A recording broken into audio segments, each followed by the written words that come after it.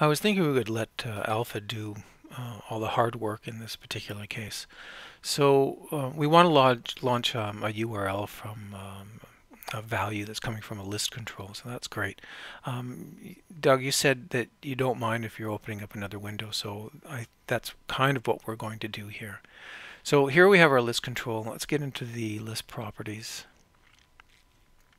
And uh, I've just got a static list control uh, list data going here. And I've got a couple of items where we're going to look at Alpha Software and we're going to look at Apple, uh, both full URLs. So that's good. And we're going to go to list properties and look at the on click event. And here I've got um, uh, a run action defined called open URL. And let's go and have a look at that. So there's open URL. We're going to edit that action. And this is just um, uh, uh, the standard action to open an A5W page, static HTML page, URL, so on. So let's get into that. Um, I don't want to add an action, I want to edit this one. So what we're going to do here is um, the page URL is coming directly from the list. Um, I wasn't sure if this would work because it wasn't, um, I didn't I didn't see anywhere that it uh, that it was going to work, but I thought I'll try it. And you know, the guys at Alpha once again um, brilliant in what they allow us to do. So in in braces, um, we define our list control. Our list control is returning information from the from the task. Um, so from our task list list, and uh, it's it's returning the, this value directly into the page URL. Um, the target's going to be a browser window, which means we can do other things with it, which I'll show you in a minute. And the browser window name is going to be blank. Now you can try some other stuff in here. There's there's four options in there, so you can try those. But um, this is the this is the great part here. So this means you can have a value anywhere, like in a text box. It doesn't doesn't really matter as long as uh, long as you can get to it from your uh, UX component.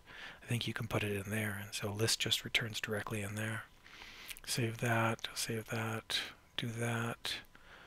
Um, I'll get out of there and we'll just go to our data source again and you can see that returning we're returning the field task uh, into our list uh, list one control. And that's that. So let me just uh, I'm to fire up my iPad. Here we are. Yeah you should see that. So here here we've got our uh, this is just sitting in a navigation control. So here we have uh, alpha software so I'm going to just tap on that and our URL gets processed, a browser window pops up.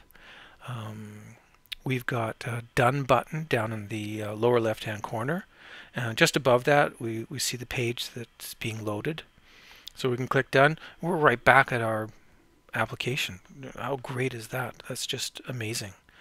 Um, we'll go to Apple. There's uh, a nice iPhone. And uh, we can click on iPad. And um, the screen behaves um, as if we're sitting on their site. That's all the Apple stuff. And we can scroll around we can move around. So we've got full control over the uh, over the page that's been rendered. And uh, lower right hand corner we've got uh, forward and backward buttons.